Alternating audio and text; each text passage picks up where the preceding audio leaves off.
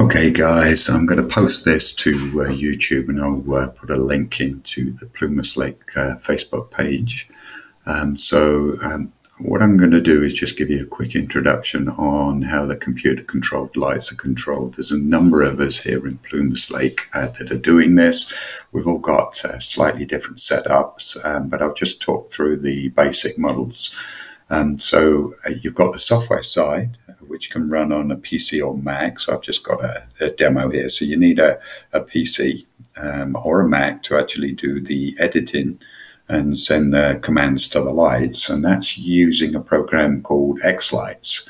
And this is free. Um, so uh, I'll include some uh, links in the uh, video. And then you've got the hardware side that actually controls the light. So there's a number of pieces that go into this. There's the Pixel controller itself, that's about $250.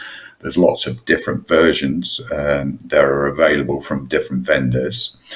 Then you need a router. Uh, the router is basically connecting a Raspberry Pi that controls the show once we've uh, done all of the editing of the software and it speaks to the pixel controller through the router. So uh, the routers, you can use any router that's available out there, um, but this is just a, an example. This is about $50. There's the Raspberry Pi, which is a, a little standalone unit, which is about $100 that um, controls the lights via the Pixel controller. And then sitting underneath there, we've got um, smart receivers. So these are basically the ones that uh, convert the power from the power supply that you can see here and actually send it out to the RGB pixels. So I've just got four uh, uh, four examples here of RGB pixels. They're about thirty dollars for a hundred, and you can buy those on Amazon. Um, and that's the basic setup. Um, you can have multiple smart receivers on here. So this is the F48 pixel controller that's uh, $250. And that can control about 16,000 pixels. Um, so uh, I've got about four and a half thousand pixels. I know that uh, a number of other folks in uh, Plumas Lake have got uh, well over 10,000 pixels. So it's fairly flexible. So you might ask, what the heck is uh, an RGB pixel? Uh, so uh, RGB stands for uh, red, green, and blue. Um, so uh, if you actually look at these pixel strings, you can buy them in different formats, but this is the bullet pixel string. Uh, and if you look at that, they get you buy them in bunches of uh, 100 pixels. Um, and if you actually zoom in on this, they look like bullets, and obviously that's why it's called bullet pixels. Uh, and then you've got an incoming wire and an outgoing wire.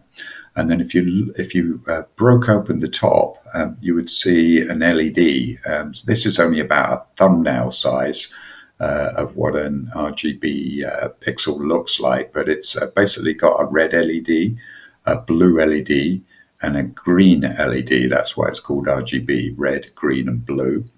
Um, and that's what's being controlled by the pixel controllers. Now, if you look at that, um, you can actually take these bullet pixel strings. They come in about 100 uh, pieces on a string. Um, and then you push them into uh, pieces of Coro. So these are like plastic that you can buy uh, off the web. Um, and you can buy things like spiders. Uh, I've got six spiders in my display, and there's about 100 pixels on the spiders here. I've also got singers, so this is just one example of the singer here. Um, I've got 304 pixels on the singer. And then the outlines that go around the house, um, this can be variable, right? So these come in about eight foot lengths and you push the pixels in um, to uh, do your uh, horizontal and vertical outlines on your house. Um, so again, you know, I've probably got uh, probably about a hundred of these on my house with various uh, different numbers of pixels. And then I've also got tombstones. So here is the, the bottom example. So we've got 19 pixels here, and there are hundreds of uh, different types of uh, um, props that you can build up. So I've just given you examples of spider, my singers and tombstones, but you can get spotlights, you can get stars, uh, you can get mega trees, um, but they're all based on these uh, bullet pixel strings. So costs, before we get into actually how you hook all of this up, um, this is my estimated costs of uh, all of my pixels. I've got about four and a half thousand pixels, something like that.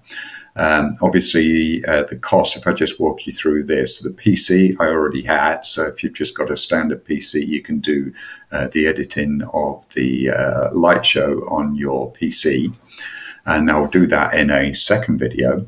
Uh, xLights is the piece of software that you can download to actually control uh, the lights and actually do the editing of the uh, sequences, and that's free. Uh, you need a router, um, so that's about fifty dollars. Uh, the Pixel controller, I'm using um, the uh, F48, so this has 48 potential outputs um, to control the Pixel strings. That's $250. Then you have the Raspberry Pi that becomes the final controller to, to schedule all of the lights and uh, uh, make them play on the house. That was $100. I've got smart receivers in there. There's 10 of those. And, what they're basically doing is doing the final uh, um, current control that gets pushed out to the uh, pixels themselves. I've got 10 of those. And that's about $300 for those uh, 10 smart receivers. And then I've got a four and a half thousand pixels on there. So if you look at that, if you bought those off Amazon as an example, that's about $1,400.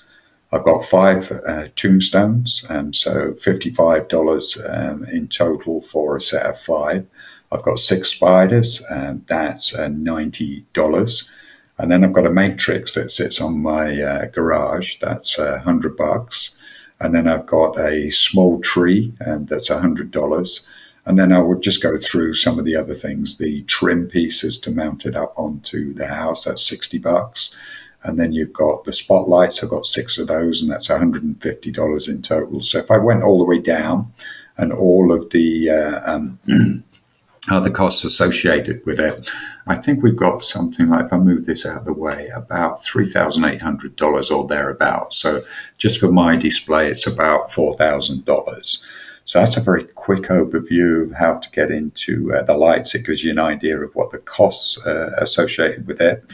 Um, and then uh, obviously what I'll do if there's interest, I'll uh, start running a demo on uh, my laptop and do a recording on uh, how xLights um, controls the lights and how you get the files um, to actually start getting the lights to flash on and off. So very quick overview of xLights and the costs associated with it.